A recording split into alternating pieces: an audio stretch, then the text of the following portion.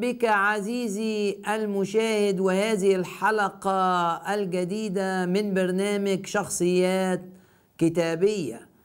أبدأ معك هذه الحلقة متاملا في موقف الملك العظيم يهوشافاط. لما دخل معركة غير متكافئة يعني الأعداء أقوى منه بكثير جدا جدا. وده الموقف بتاعه ده رسالة لينا لما نواجه حاجات ونحس إن إحنا أضعف بكثير من مواجهتها. لما تدخل معركة غير متكافئة تذكر سفر أخبار الأيام الثاني أصحاح عشرين. الملك يهوشافاط في هجوم على عليه على مدينة أورشليم العاصمة من ثلاثة جيوش. اتحدت مع بعض جيوش قوية جدا واقتربت إلى دخول المدينة. ماذا فعل يهوشافاط؟ يهوشافاط دعا إلى اجتماع صلاة عظيم ضخم. كل الناس جت في هذا الاجتماع وصامت وابتدى يصلي ولما صلى بقى قال إيه؟ يا إلهنا آية 12 أما تقضي عليهم يعني إحنا عايزينك تتدخل وتقضي على الأعداء لأن إحنا مش هنقدر نعمل ده بنفسنا. آه رائع. رائع إنك تبقى زي أوشافاط كده وتقول له يا رب أنا ما أقدرش أعمل الحكاية دي. أنا مش هأكابر وأقول إن أنا أقدر أعالج المشكلة دي. لا دي مشكلة أكبر مني. فأنا بسلمها لك. هو عمل كده. أما تقضي عليهم لأنه ليس فينا قوة. أمام هذا الجمهور الكثير الآتي علينا. ليس فينا قوة. ونحن لا نعلم ماذا نعمل. هنعمل إيه؟ ما عندناش أي حل. ونحن لا نعلم ماذا نعمل.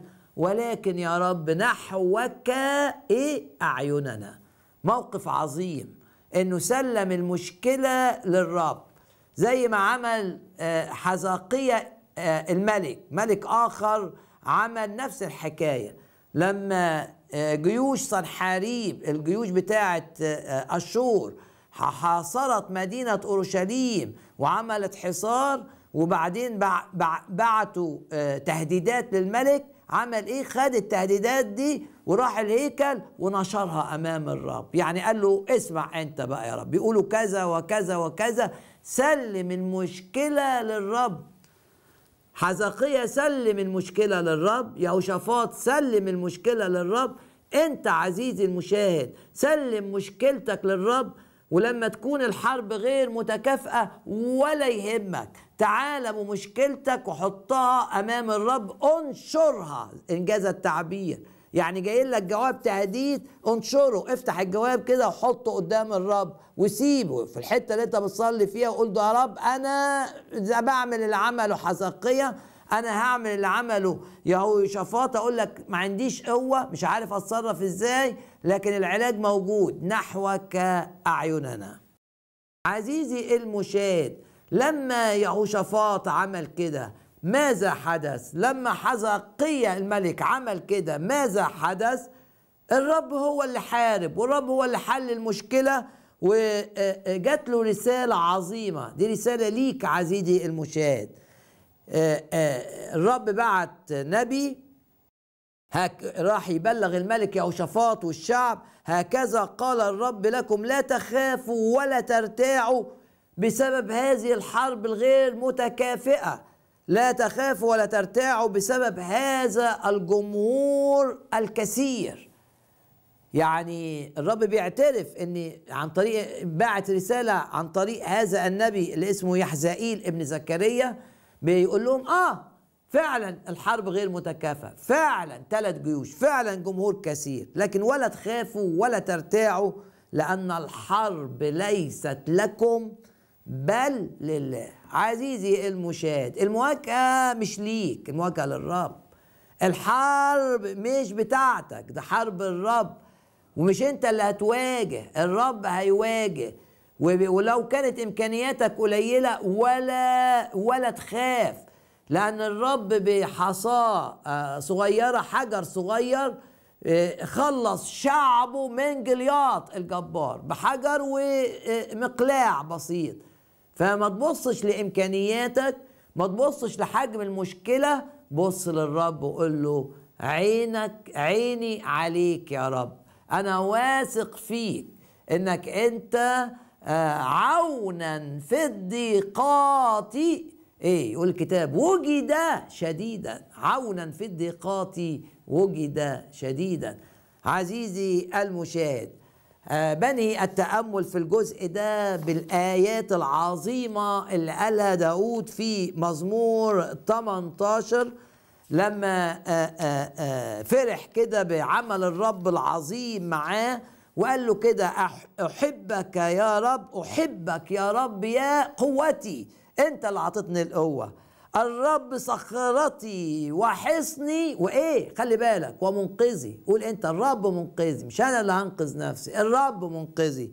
الرب صخرتي وحصني ومنقذي. مزمور 18 إلهي صخرتي صخرة. اللي بستند عليها اللي ما بتتهزش ابدا.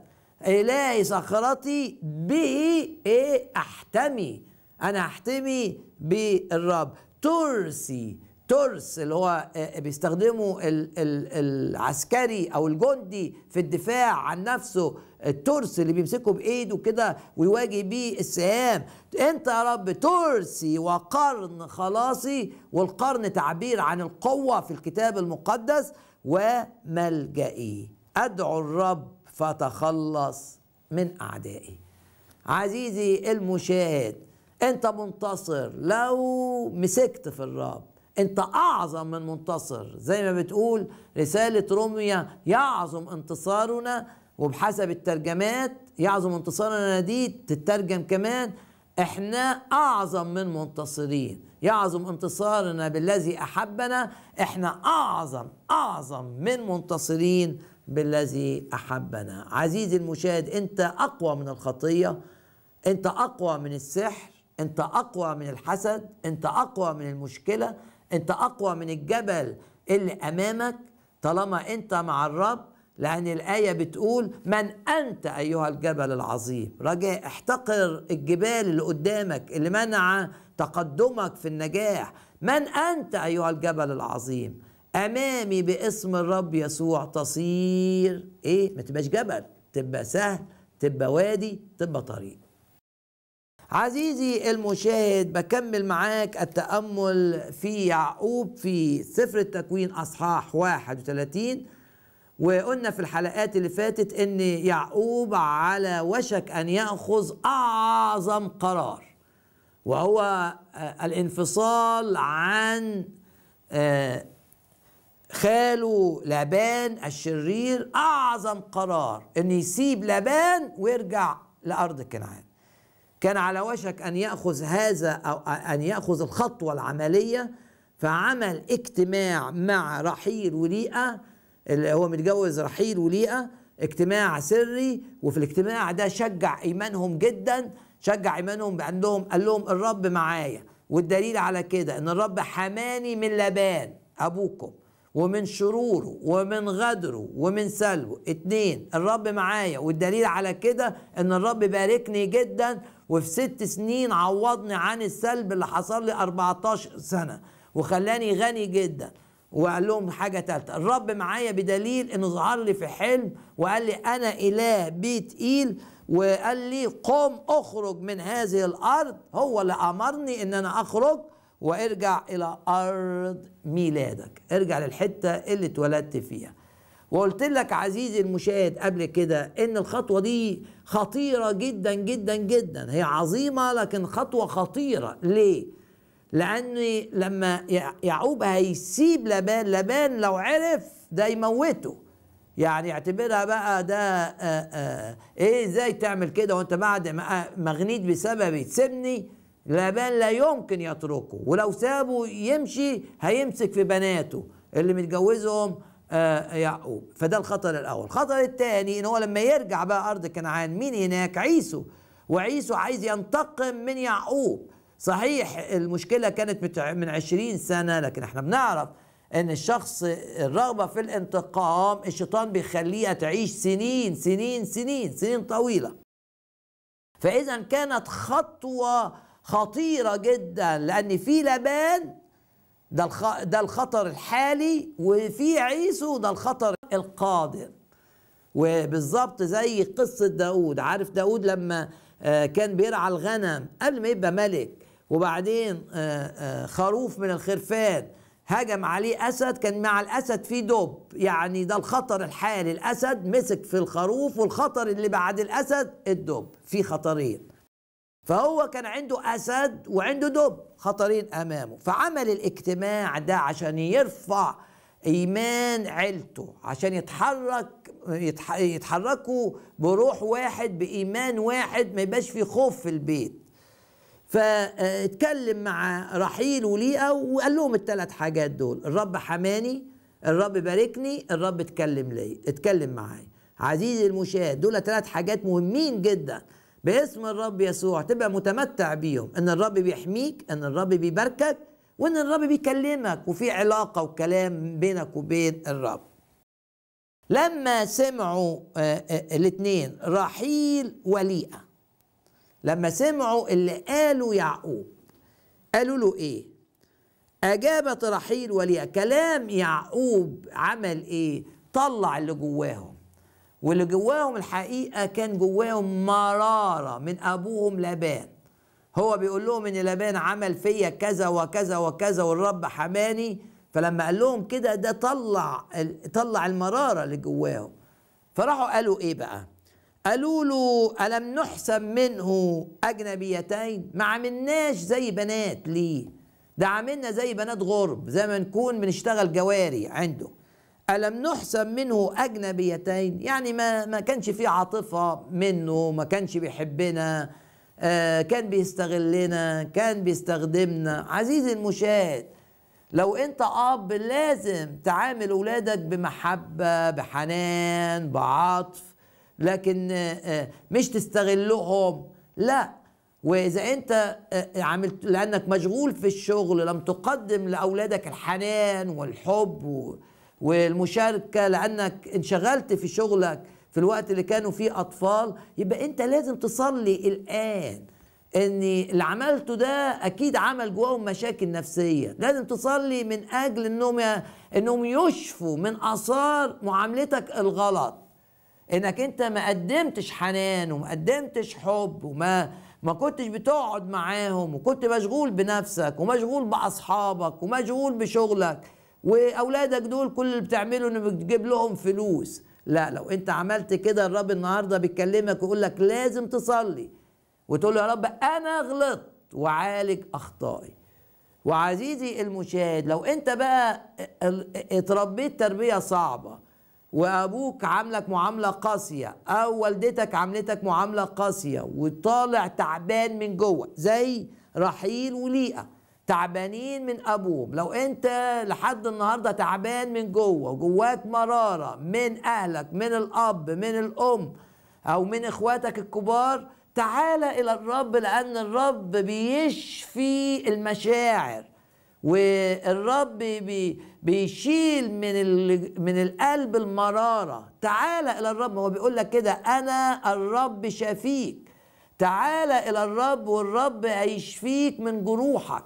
إن كنت اتجرحت من الأب إن كنت اتجرحت من الأم من المعاملة القاسية من الحرمان من مثلا إنهم كانوا بيهنوك قدام أصحابك من إنهم كانوا دايما بيصغروا فيك بيعاملوا إخواتك أحسن منك. لو ده سايب جواك آثار ما لا لازم تشفى.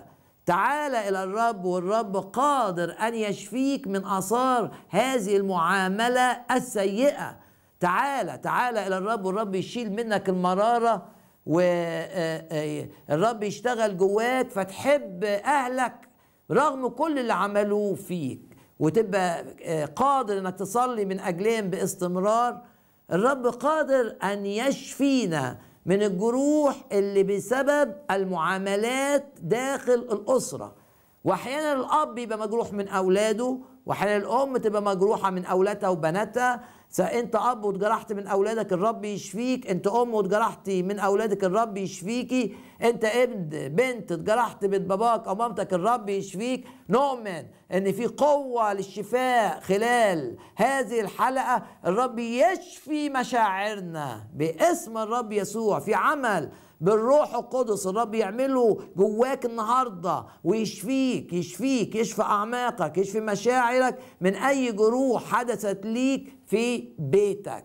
باسم الرب يسوع باسم الرب يسوع باسم الرب يسوع. فهم بيقولوا بقى على المرارة اللي جواهم ألم نحسب منه أجنبيتين؟ ده ما عملناش ما عطلناش حنان ولا حب ولا ده يعني كان بيشغلنا. يعني إحنا فاكرين لما يعقوب قابل رحيل كانت رحيل بتعمل إيه؟ رحيل كانت بترعى الغنم واخدة الغنم عشان يشرب مية. كان بيشغلهم بيستفيد منهم. لكن ده مش الحب الحب مش إنك أنت تستفيد من أولادك. الحب إنك أنت قبل ما يبقوا مفيدين للبيت أنت بتدي نفسك من أجلهم. انت عايز اولادك يبقوا احسن منك. انت بتتكلم معاهم. انت تتضايق لما تلاقيهم آه، زعلانين. وتدور إزاي تفرحهم. وتعمل كل اللي عندك عشان يطلعوا أكثر نجاحا منك. انت لازم تبقى اب كما يريده الله. تقول لي يعني إيه اب كما يريده الله؟ يعني تتعلم من ابوة الله لنا. إزاي الرب بيعاملنا كأب؟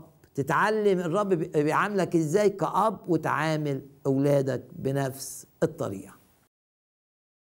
رحيل وليئة مجروحين من أبوهم وبيقولوا له لأنه باعنا وقد أكل أيضا ثمننا. والمفسرين بيقولوا إيه معنى اللي قالته رحيل وليئة؟ لا في معنى هنا. معنى آه، ما يتفهمش قوي في القراءة العربي لازم يبقى عندك فكرة عن الخلفية.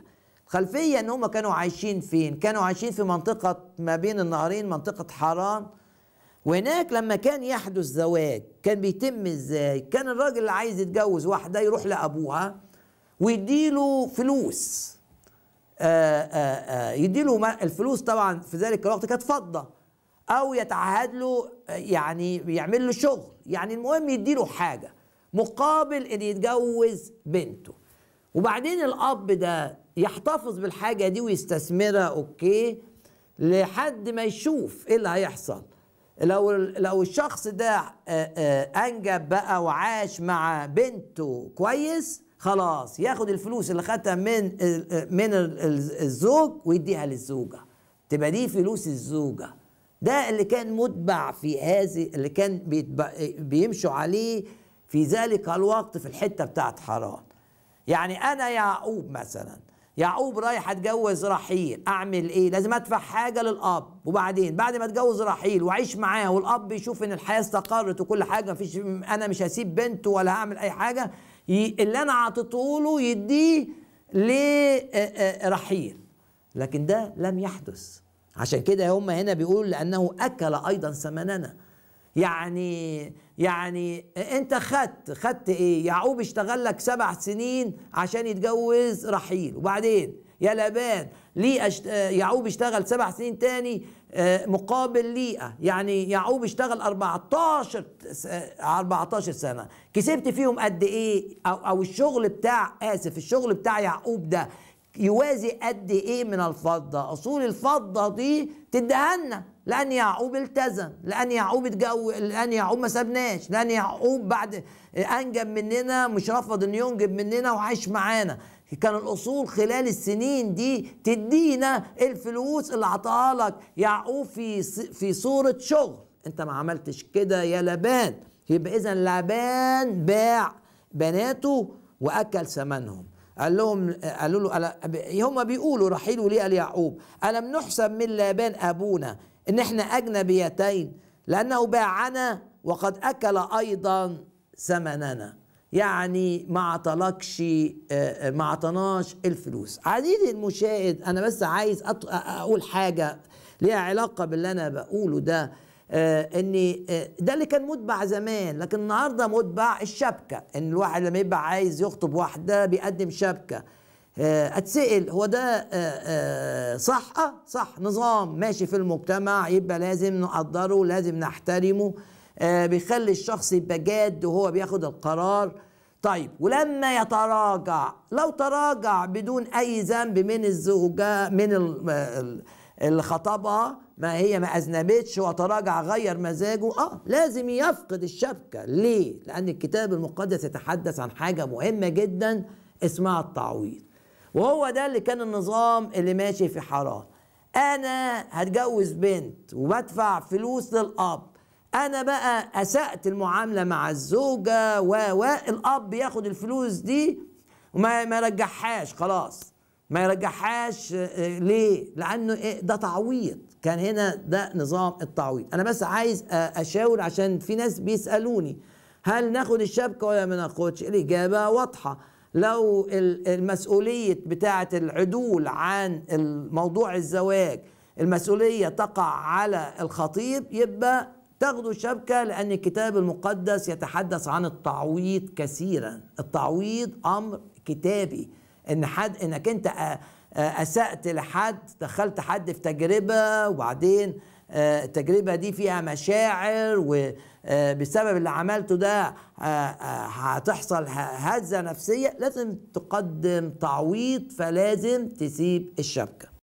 أرجع بقى للقصة ألم نحسب منه أجنبيتين لبان؟ لأنه باعنا وقد أكل أيضا ثمننا. خلي بالك بقى من الآية اللي جاية. آية رقم كام؟ 16 قالوا بقى إيه؟ إن كل الغنى اللي جالك يا يعقوب في الست سنين الأخيرة بسبب شغلك مع لبان ده لينا هو لنا ولاولادنا إيه هنا بقى؟ بقول لك الحتة دي عظيمة ليه؟ لأن فيها إيمان.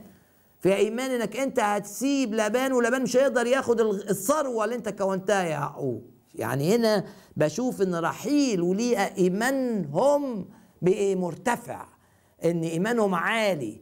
يعقوب سيب لبان قالوا له كده كل ما قال لك الله افعل ما تخافش.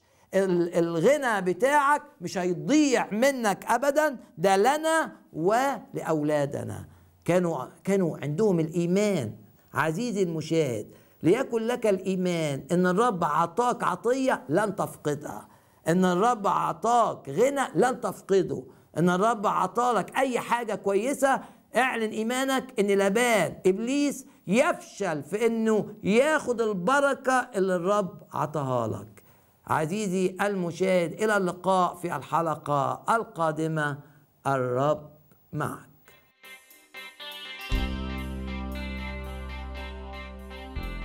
إلى كل أحبائنا المشاهدين نقدم لكم كتاب الأسد في الخارج هدية مجانية من خدمة أنهار الحياة عند تلقي مراسلاتكم. هيا اكتبوا لنا اليوم دون تأجيل وشاركونا بتعاملات الرب معكم من خلال البرنامج أو بأية استفسارات أو طلبات خاصة نصلي معكم من أجلها. راسلونا على البريد الإلكتروني mail at pastordaniel.org أو العنوان البريدي أنهار الحياة صندوق بريد 3030 الحرية هليوبوليس القاهرة جمهورية مصر العربية أو Rivers of Life PO Box 433 Greenford UB5 9BJ UK أو ارسلوا لنا بريدا صوتيا.